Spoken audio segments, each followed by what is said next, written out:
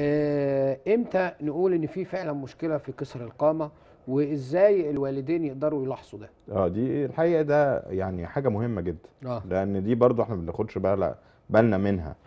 يعني ضروري الأم والأب يعرفوا بالظبط أول ما الطفل الب- البيبي يتولد هو طوله مناسب ولا لأ ويتابعوا الطول ده تمام. مع دكتور الأطفال أو مع ال- ال- الصحة ولا حاجة عشان يقدروا يعرفوا بعد كده إبنهم مظبوط في الطول ولا لأ. تمام. فأول ما ال- ال baby بيتولد أو الطفل بيتولد بيبقى طوله حوالي 50 سم. تمام. بي- بيطول في السنة الأولانية لو الناس تقدر تك- تكتب الأرقام دي آه. هيقدروا يعرفوا بالظبط المش... المشكلة يعني يا ريت المشاهدين يكونوا معانا وفعلا يتابعوا ويقدروا يسجلوا البيانات دي. اتفضل. فطول الطفل أول ما يتولد 50 سم بيطول 25 سم في السنة الأولى. تمام. وبعدين نصهم في السنة الثانية 12 تمام. ونص في السنة الثانية وبعدين يبتدي يبقى 10 سم 9 سم 8 سم 7 سم لغاية سن 6 سنين.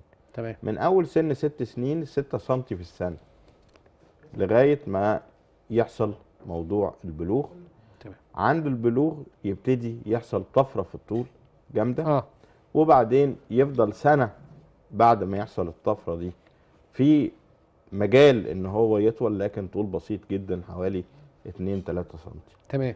فيبقى كل ما نبتدي إن إحنا نقدر نعرف إن ابننا قصير ولا لأ نقدر إن إحنا إيه نقول القصة دي. تمام. طب وبيبقى إيه الأسباب؟